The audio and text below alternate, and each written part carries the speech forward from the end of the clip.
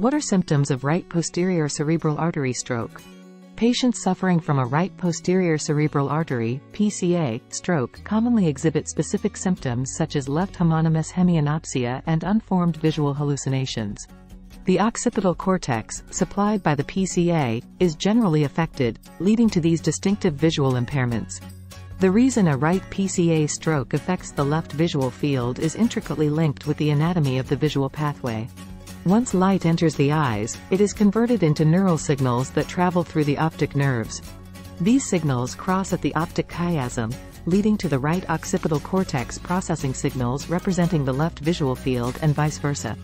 Therefore, a stroke in the right PCA would naturally affect the left visual field.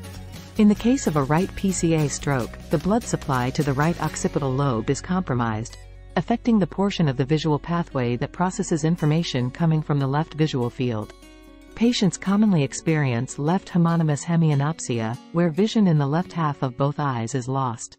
Additionally, unformed visual hallucinations may occur, such as random flashes or spots of light, due to the lack of sensory input to the affected brain regions.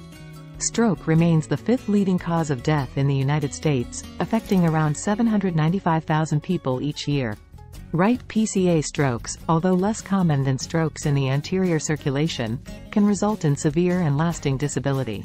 These make up a substantial portion of the overall stroke cases, emphasizing their clinical importance. Besides MRI or CT scans that are standard for diagnosing any stroke, visual field tests are also employed to assess the extent of vision loss. Electroencephalograms, EEGs, can be beneficial in evaluating the unformed visual hallucinations that may be experienced by the patient.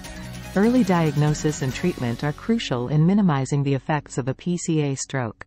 Therapeutic options may include anticoagulant medications, surgical interventions, and rehabilitative therapies aimed at improving lost functions.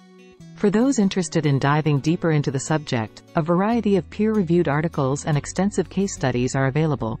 This literature offers a more detailed understanding of right PCA stroke symptoms, as well as advanced diagnostic and treatment options.